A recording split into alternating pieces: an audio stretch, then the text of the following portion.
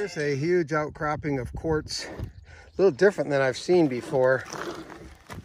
It uh, It's right on top of a berm here. Look at that. That is amazing. And there's a whole bunch of it right along this ridge. So you know what the quartz hunter is going to do. I'm going to be looking a little closer at this. Can you hear him? Can you hear him? Where those two rocks are?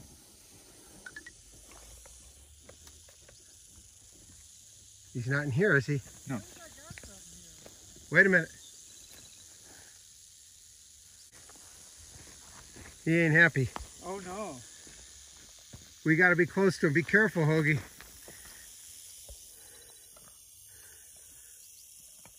You toss a rock over there. That bush. That, Oh, I see him. I see him. I hit the base of that bush. He's looking at me and he ain't happy. He went off. There he is. Oh, it can't go that fast to catch you. See him? He's coiled up right there. Oh boy. He's a pretty one. See him right there? Oh, I wasn't even near him. See his tail moving? So the, that.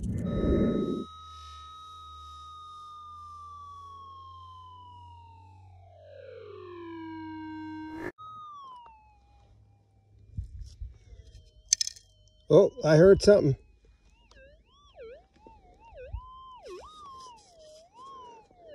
And right there, folks, there she is. That's not bad, a little chunker. I'll take it. It's been a while, been on a dry spell. Yeah. We'll take it.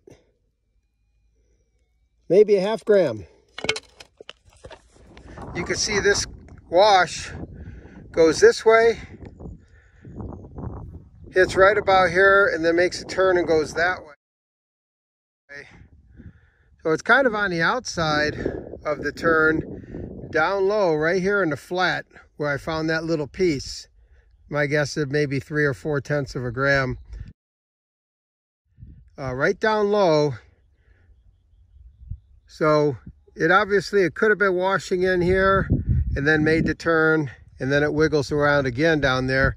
I'm gonna go work this area up high just in case it's working. Well, we're back here at the house a couple days after uh, going over there to Gold Basin. Worked a new area, uh, a little bit closer to the house. And it's uh, a couple football fields away from where I found three good sized pieces, each one over a gram, gram and a half. Um, this is an area I've been wanting to hit, so we uh, researched it on the Google Earth and everything else. Mine cash, made sure it was legal, unclaimed, and um, drove out there with Hoagie, a member of our local club here. We call him now the Snake Whisperer, since he found the first and only rattlesnake I've ever seen out there before.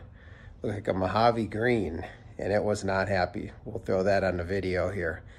But anyway, uh, cleaned up. I got one little piece. Uh, the other guys didn't find anything but some bullets and that. So, uh, but it looks very good and promising. We'll go back out there again and hit it. But I did get lucky and found one down near the bottom of a wash. And uh, we'll take a look at it here and uh, weigh it up. This piece here is one of the pieces um, that I originally found about a year ago and there were three of these within about a 50 foot circle.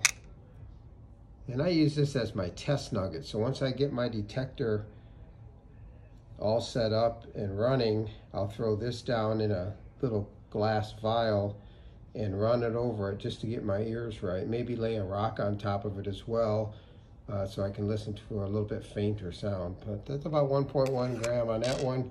Here's a little fellow we just got the other day.